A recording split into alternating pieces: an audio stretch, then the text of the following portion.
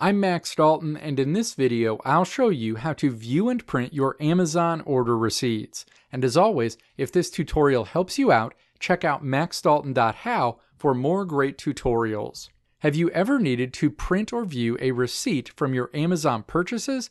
Whether it's for business, warranty purposes, or just personal record keeping, I've got you covered. In this video, I'll walk you through the quick and easy process of viewing and printing your Amazon order receipts. The only catch is that you can only view and print Amazon order receipts through the Amazon web browser, and you can't do this through the Amazon mobile app. Now let's walk through the steps to view and print your Amazon order receipts.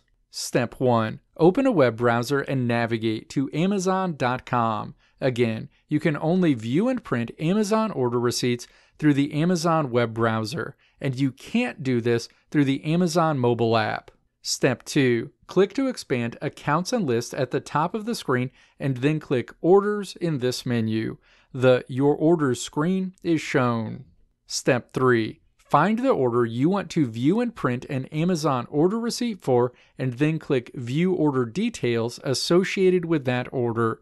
The order details screen is shown. Step 4. Click View or Print Invoice at the top part of the order details. The order receipt for that Amazon order will be displayed. If you want to print this receipt, simply click the Print This Page for Your Records link at the top of the page. Let me know if this video helped you out in the comments below. If you liked what you saw here, click the video links on the right side of the screen to check out another video.